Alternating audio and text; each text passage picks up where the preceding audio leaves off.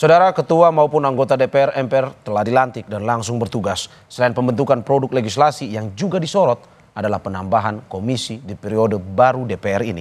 Lalu bagaimana komposisi komisi yang akan dibentuk di DPR periode baru ini? Kita langsung bergabung dengan jurnalis Kompas TV. Ada Cindy Permadi di gedung DPR Jakarta. Cindy selamat siang. Sebelumnya muncul wacana penambahan komisi di DPR untuk mengakomodir kemungkinan penambahan kementerian di kabinet Prabowo Gibran. Lalu bagaimana isu ini bergulir di DPR? Apa tanggapan para fraksi-fraksi? Ya Mario, kalau dari fraksi PDI Perjuangan dan Partai Amarat Nasional atau PAN disampaikan kalau akan ada penambahan fraksi dari sebelumnya di periode 2019-2024 yang ditetapkan ada 11 komisi, maka kabarnya di DPR RI periode 2024-2029 akan ditambah menjadi 13 fraksi. Yang kalau menurut PDIP dan PAN ini sudah direstui oleh semua fraksi di DPR RI. Memang penambahan jumlah komisi ini dibahas oleh DPR setelah adanya revisi Undang-Undang Kementerian Negara yang tidak lagi membatasi jumlah pos kementerian di 34 pos, tapi berdasarkan atau menyesuaikan dengan kebutuhan presiden nantinya yaitu adalah presiden terpilih Prabowo Subianto.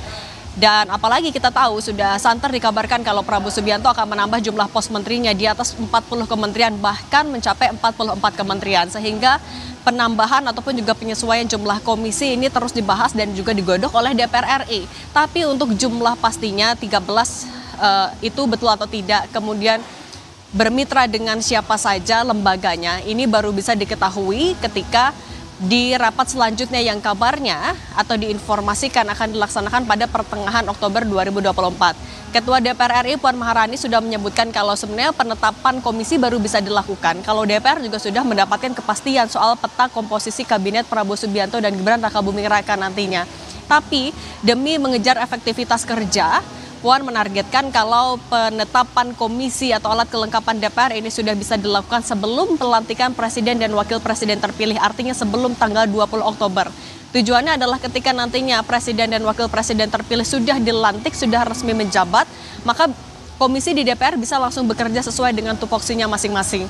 Nah, eh, kenapa penyesuaian jumlah komisi ini juga harus dilakukan? Karena kalau menurut eh, mantan wakil ketua DPR RI yang juga adalah Sekjen Partai Golkar Ludwig Paulus sebelumnya sudah e, menyebutkan kalau perlu adanya pembagian tugas yang merata kepada masing-masing komisi. Jangan sampai ada komisi yang bebannya terlalu berat, tapi ada juga komisi yang pekerjaannya terlalu ringan. Ini menyebabkan kenapa pembahasan terus dilakukan dan Puan juga sebenarnya sudah menyebutkan setelah adanya revisi Undang-Undang Kementerian Negara wartawan terus mengejar bagaimana update-nya, bagaimana kepastiannya. Tapi yang disampaikan oleh Puan adalah DPR mau bekerja secara hati-hati dalam menggodok jumlah komisi yang nantinya akan bertugas selama lima tahun ke depan. Mario. Ya, sini, jika penambahan komisi benar-benar terjadi pada akhirnya, bagaimana nanti prosedurnya di DPR? Ya Mario kalau kita merujuk kepada Undang-Undang MD3 ini saya uh, bacakan sedikit kalau komisi dibentuk DPR dan merupakan alat kelengkapan yang bersifat tetap. Ini jadi alasan mengapa tadi Puan Maharani ingin dalam penggodokannya dilakukan secara hati-hati menyesuaikan dengan eh, jumlah pos kementerian dari Prabowo nantinya apalagi Gerindra juga bilang rencananya akan difinalisasi untuk jumlah kementerian sebelum juga masa pelantikan di 20 Oktober 2024. Nah nantinya Mario komisi ditetapkan pada permulaan masa keanggotaan DPR dan permulaan tahun sidang jumlah anggota ditetapkan dalam rapat paripurna berdasarkan pertimbangan dan pemerataan jumlah anggota tiap fraksi.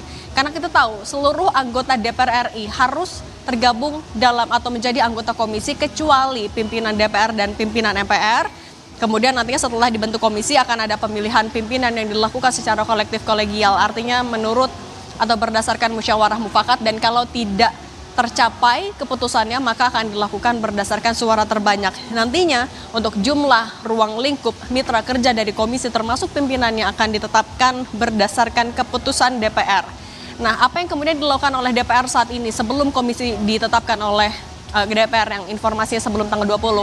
Kalau Puan Maharani memastikan kalau anggota DPR RI tidak akan kosong agendanya selama beberapa hari ke depan karena akan ada konsolidasi internal fraksi maupun juga antar fraksi partai politik di DPR RI.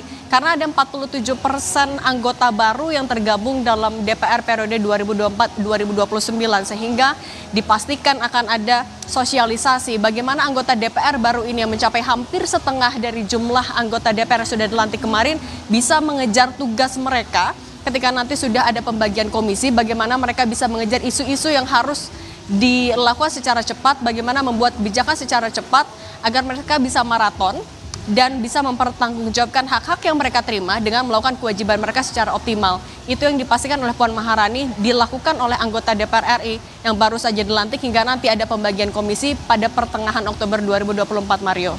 Ya kita ikuti terus informasi utak-atik jumlah komisi di DPR. Terima kasih Cindy atas laporannya. Selamat bertugas kembali.